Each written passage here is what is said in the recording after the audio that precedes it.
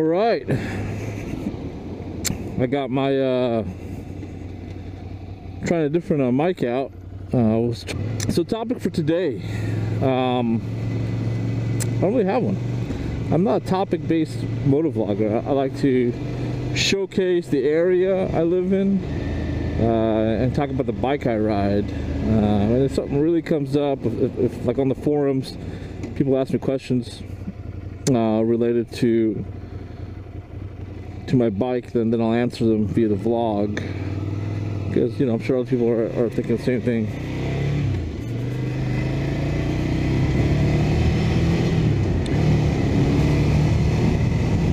So I got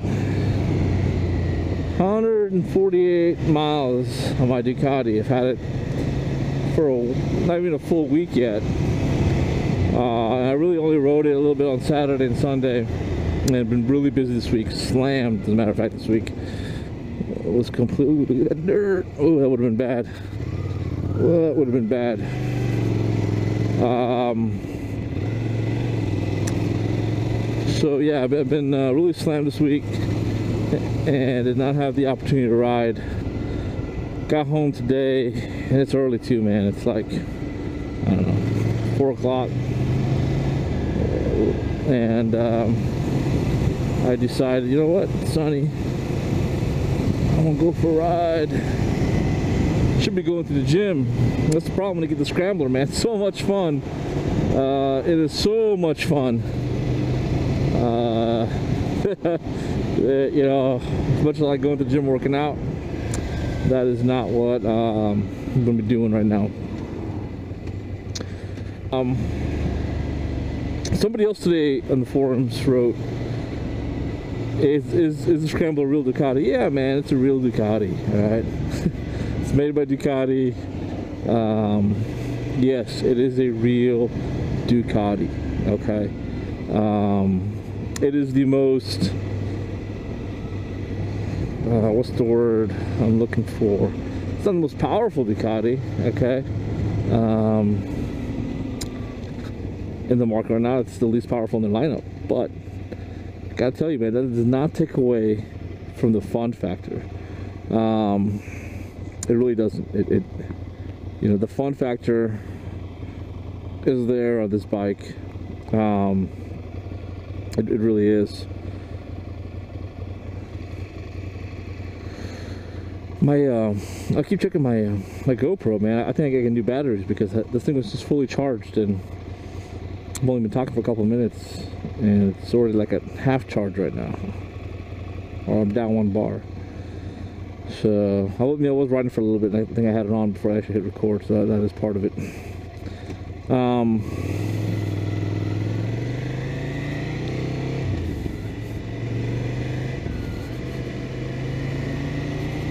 it's a fun bike guys. I'll tell you this right now. It is fun. It's got plenty of torque it's user friendly fun man. That's that's what i'm trying to get at. It is user friendly fun okay? Um, that's what everybody needs to understand. Um, in traffic when you're on this bike um, you're working the clutch right? It's effortless effortless working the clutch okay? Um, it's got plenty of power um, you know if you're coming off a bigger bike yeah you're gonna feel or more powerful bikes you know sports oriented bike you're gonna feel that, that lack of power. Um, you're like oh you might be a little disappointed. Once you're riding for a while you really get used to it. You, under, you start getting comfortable with the power the power band and, and the way the gearing is on it. It's, it's awesome man. It's perfect. Um, it is perfect again for the urban environment um, and, and, the word is really effortless it just ends up being so effortless um, you know that's the bottom that, that's all I'm going to say on that uh,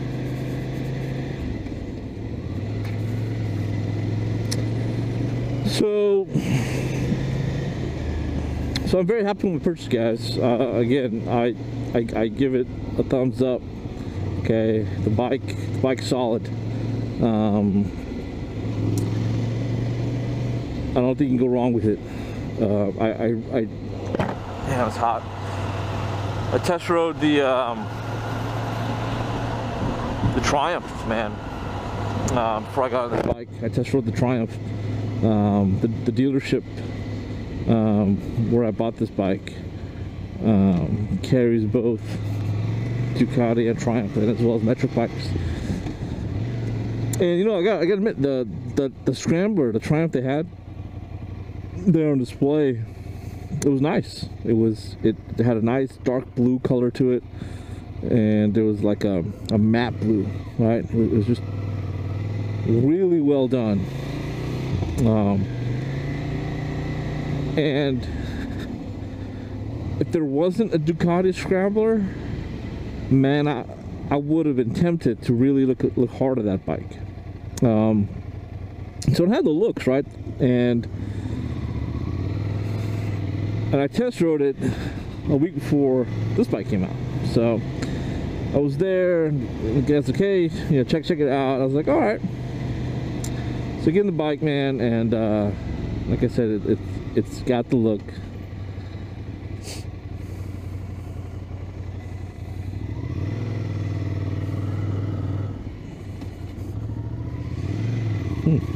Yeah, it's got the look, and but it was reliable, and they had all the cool Triumph gear next to it. They got and they got some nice gear. I'm not gonna lie. There's some really nice leather jackets there uh, with the Triumph, uh, you know, from Triumph brand. Um, not that that's any reason to swing. That's not to swing me to buy a motorcycle, but it's, it's cool to check out.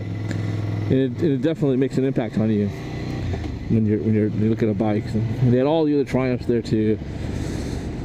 So get on it.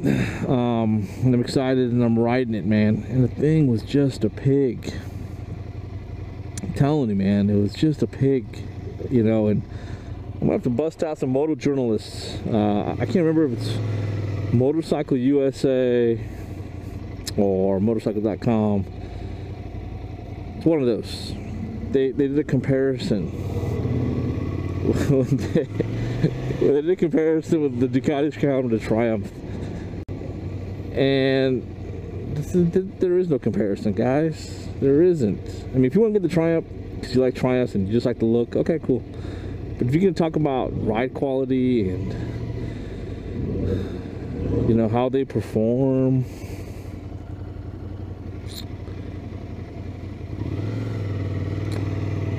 there is no comparison the the Ducati blows it away man. Oh look at that deer. Look at that. Look at that deer right there. You guys see that? Look at that. Look at that. That is cool. They're doing the road. That would not be cool if, uh, look at that.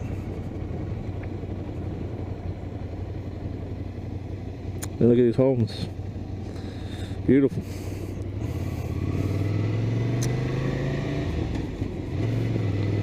But, um,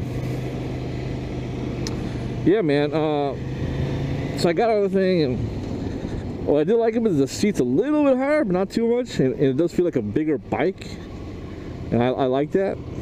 Um, but man, it was a pig. His performance wasn't there. You know, um, you know, and quite honestly, just it just didn't have the performance, man. It was just too old school, right? Uh, I mean, I kind of like old school looks, but new school technology. Well, that Triumph is just old school looks and old school technology. And I'm, I'm gonna get some haters on this, right? So I'm gonna get some dislikes on this video, and people are gonna be like, "What are you talking about, man?" No, look, you know, Ducati doesn't pay me. I don't give a shit about Ducati. Uh, I'm not on their payroll. And I go with the better. And I'm not brand loyal, man. I'll tell you this right now. I've owned Harley Davidsons. I've owned I own a Victory. Uh, I've owned Moto Guzzi. I've owned Yamaha. I've owned uh, their muscle, uh, their cruiser brand, uh, Star. And I've considered just about every bike that comes out. If I like it, I'm going to look at it. Um, know, I go with performance, how it feels overall, and value, and kind of what I want. So, anyhow, yeah, the Triumph, man, two thumbs down, and I don't see how it even compares, man. I don't see how somebody can go into a dealership where they sell both these bikes and walk out with the Triumph with their version of the Scrambler.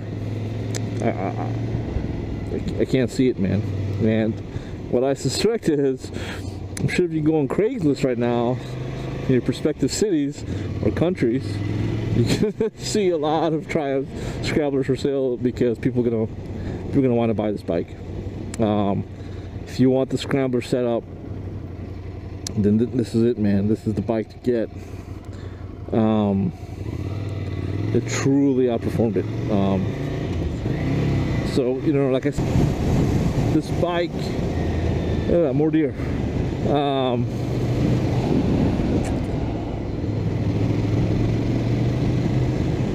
this bike will make a very good companion what I would say for a second motorcycle for somebody if you're experienced and you're coming off big bikes okay if you sold Panigale you sold your Diavel you know or your Evo Monster or Hyper Motard your 821 Monster Hyper Motard or Multistrada or you're coming off another big bike, man, a performance bike, whether it's BMW or a Street Triple from Triumph or you know Yamaha or, or, or you know KTM, whatever, man. Um, look at that house, guys. Just check that house out. It's like cool. You are not gonna like it, okay? Um, you are just and, and in the sense of you're coming off that bike and this is your only bike, you're an experienced rider. Again, whether you're an adventure tour or a sports tour or you know, guy let's do track days or whatever the case may be, I don't think you're going to be very happy with this motorcycle. Okay. Um, I don't. I don't think you will, but if you have one of those bikes, right, or even if you have a V-twin, right, you got a big V-twin, and you know, or one of those other bikes I just mentioned,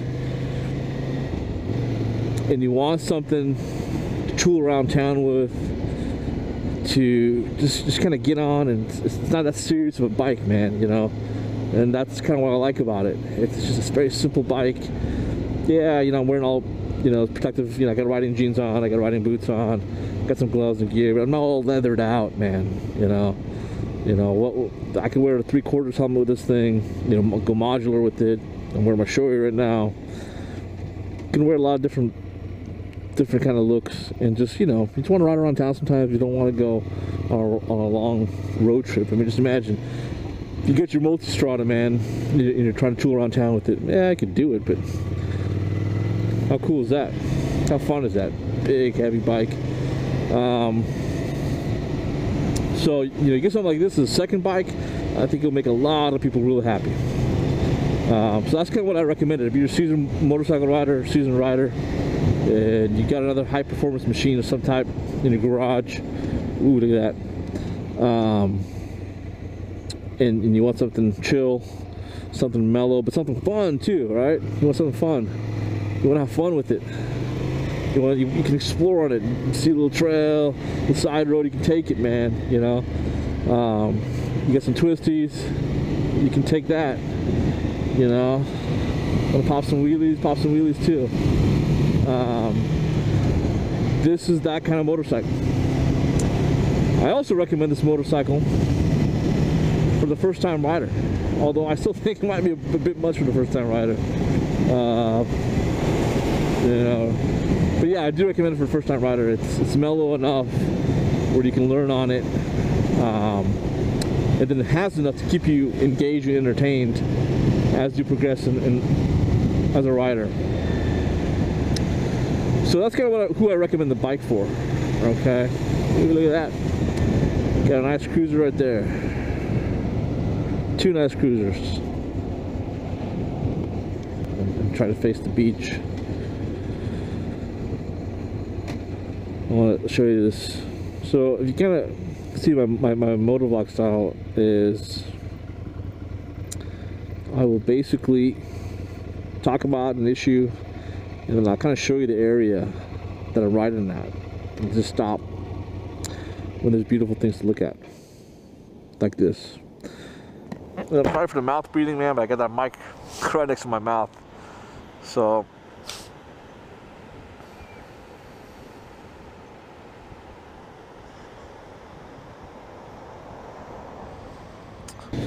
and it seems the scrambler is the thing right now. Uh, what I want to segue now and talk about is 2015 year of the scrambler, man. It seems everybody is talking about it, right? You know, and Tribe's been doing it for a while, but they get that that, that pig of a bike. You know, it's heavy. It's not very fun to ride, but um, it's the scrambler craze, right? So, you know, uh, BMW is rumored to, to have one coming out. Um, next year or the year after. Believe it or not, there's even rumors of Harley uh, using the the engine they got their Street 750 and maybe doing a scrambler.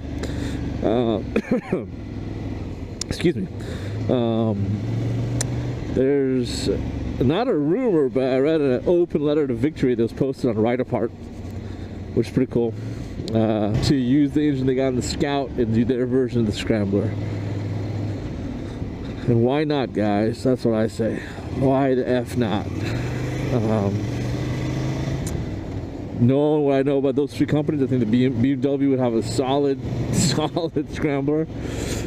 Uh, they, they, would probably be the only thing close to giving this thing a run for its money.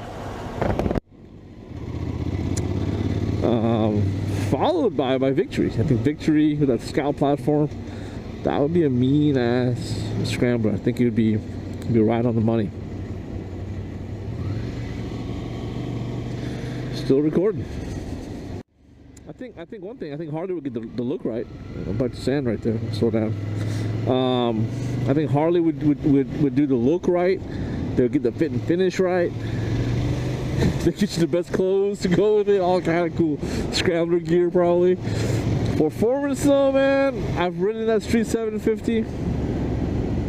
I've ridden it in in its cruiser form I think it's gutless, guys. As much as, you know, I'm all for new technology, I'm all for it.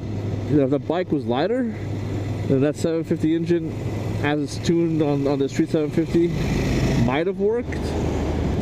But the way of the bike and the way that engine is tuned, it was gutless. Not a fan. I think it looks cool, though. I really do. I think they got the look right. Oh.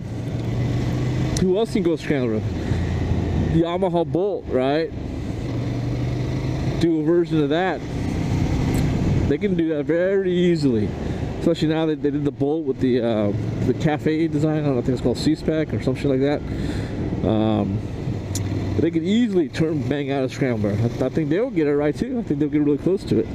Um, so it'll be interesting to see, interesting to see if these companies will actually do it. I don't. I think the closest one to actually doing it is BMW and it'd be cool to see Victory do theirs, I think, and and Harley or anybody else, Yamaha. It's also interesting to see how long the Scrambler craze will last. I'll give Ducati props, man, as much as I, I think their marketing campaign is cheesy. Um, but they, they've definitely done something in the motorcycle world that's captured everybody's attention to the scrambler. So I'll give them that. They got that right. What is going on here? Okay, people. Like that turn.